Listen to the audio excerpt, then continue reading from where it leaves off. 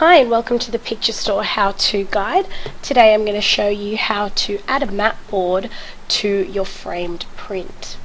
Okay, so we're leaving off where we uh, where we left you at adding a frame. So we have just added the frame to our print.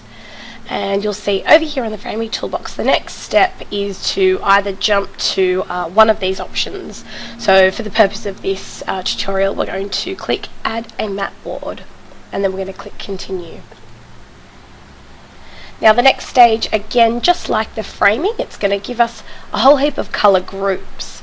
Um, now my basic rule with adding a mat board is to either complement or contrast your print. So in this instance, I'm going to take one of the colours from the centre and I'm going to complement it. So I'm going to jump into the cream category. Okay, from this I'm going to choose something quite light. Um, again, complement or contrast so I'm going to choose talc and it'll give you the example there. The next stage is to add a second mat board. Again, this is just an option. You don't have to add it. Um, again, for the purpose of the tutorial, I'm going to show you. So yes is selected. If you don't want it, just simply click no. And we'll click continue. It's going to take us back to the same color group and again give us an, our example. And for the purpose of showing you some contrast, I'm going to choose a darker matte. And I'm actually going to choose black.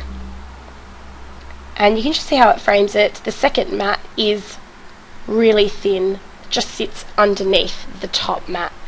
Again, all of these options are changeable. If you look at that and you say, oh, okay, I want to change the bottom matte or I want to change the top matte, simply scroll down and in your details section where it says top matte, or bottom mat, you can simply come over here and click alter.